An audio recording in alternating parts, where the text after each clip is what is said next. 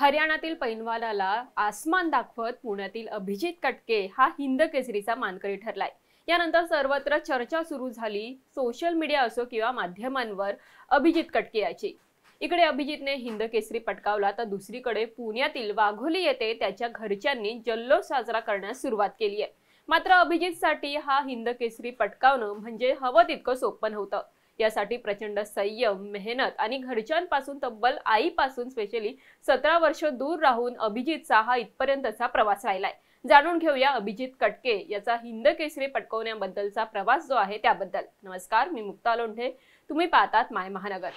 पुण्याचा मल्ल अभिजित कटके याने रविवारी हैदराबाद येथे पार पडलेल्या कुस्ती स्पर्धेत अत्यंत प्रतिष्ठेचा मानला जाणारा हिंद केसरी हा किताब मिळवला.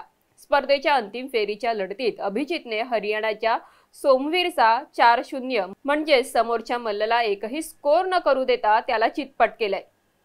योग्य तालीम पुरेसा खुराक सातत्य मेहनत यासह संयम अशी प्लॅनिंग करत कुस्तीचं मैदान गाजवणाऱ्या अभिजित कटकेचा आजपर्यंतचा प्रवास राहिलाय.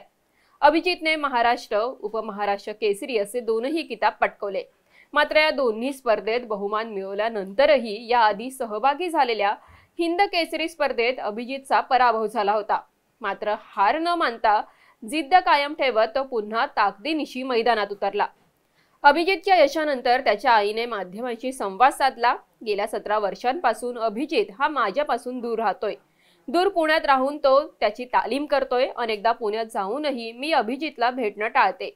कारण मला भेटल्यावर त्याचं कुस्तीवरचं लक्ष कमी होईल आईचा लळा लागेल असं अभिजितच्या आईने म्हटलं.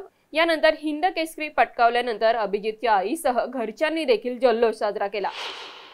पुण्यातील शिवरामदादा तालमीत अभिजितने कुस्तीचे धडे गिरवले. यानंतर सातत्याने प्रवास करत त्याने पराभव न मानता यापूर्वी देखील हिंद केसरीमध्ये सहभाग घेतल्यानंतर तिथे देखील त्याची हार झाली होती. तिथवरच न थांबता अभिजितने त्याचा प्रवास सुरू ठेवला आणि अखेर त्याने रविवारी आपली जी स्पर्धा आहे हिंद केसरीची ती जिंकली आणि आपला मान जो आहे तो पटकावला. आणि यानंतर त्याने पुण्यासह संपूर्ण महाराष्ट्राचं देखील कुस्तीच्या स्पर्धेमध्ये नाव राखलंय. अशाच प्रकारच्या महत्त्वपूर्ण बातम्या आणि ताज्या घडामोडी जाणून घेण्यासाठी तुम्ही माय महानगर डॉट कॉम या वेबसाईटवर लॉग इन करा. आमच्या फेसबुक ट्विटर आणि इंस्टाग्राम अकाउंटला फॉलो करा. माय महानगर लाईव्ह या यूट्यूब चॅनलला सबस्क्राईब करा.